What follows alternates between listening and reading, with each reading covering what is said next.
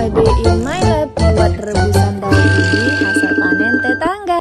Halo guys, a day in my life pagi ini aku aku mau ke rumah tetangga. Kita udah janjian mau makan bersama karena uh, kita ada acara perpisahan antara tetangga aku yang mau pergi pindah ya.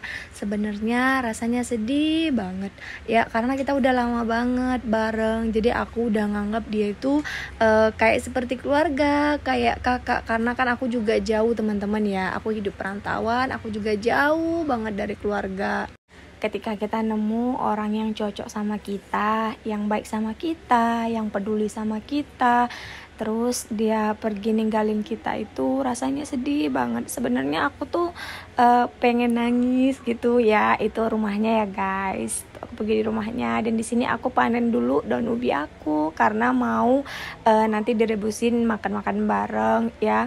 Jadi uh, terharu banget sih sebenarnya untuk ngetik eh untuk uh, buat suara ini juga. Aku juga ngerasanya kayak sedih ya karena uh, beberapa hari lagi dia bakal uh, benar-benar uh, ninggalin kami ya. Walaupun ninggalnya itu uh, dia tuh uh, suruh kita tuh happy happy jangan sedih-sedih ya.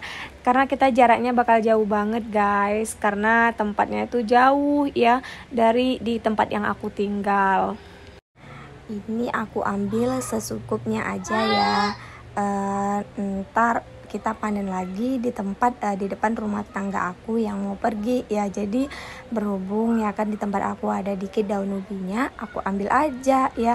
Jadi di sini aku bakal tunjukin dengan teman-teman. Ini dia ya yang aku dapat dari di rumah aku ya.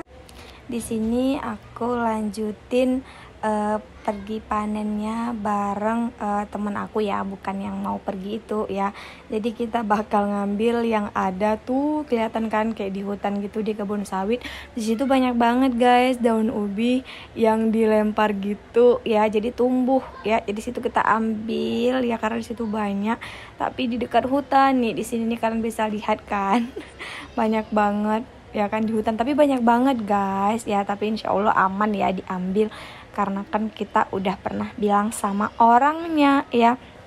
Di sini kita lagi cari-cari ya guys di mana penampakan daun ubinya. Ya kan aku kan agak rempong ya sambil ngeploknya di hutan. Satu pegang handphone satu lagi metikin daun ubinya ya. Untung aja tetangga aku itu udah ngerti kalau aku suka buat konten ya kan. Walaupun belum ada gajinya makanya aku bilang kalau aku lagi ngonten sama teman-teman aku jangan minta dibayar dulu ya guys. Karena belum ada gajinya. Di sini aku panggilin nih tetangga aku mau minta daun ubi di rumahnya ya kan? Karena nanti yang makan itu juga dia juga makan sih karena kita makannya kan rame-rame ya. Di sini daun ubinya tuh segar-segar dan lembut banget ya. Karena berhubung tuh ya tuh teman aku juga ngambil ya. Karena ini udah selesai ini kita lanjut panen di rumah tetangga satu lagi yang ada buah pokoknya. Ya buah pokok teman-teman tahu nggak sih yang kayak kecil-kecil gitu yang bagus untuk mata?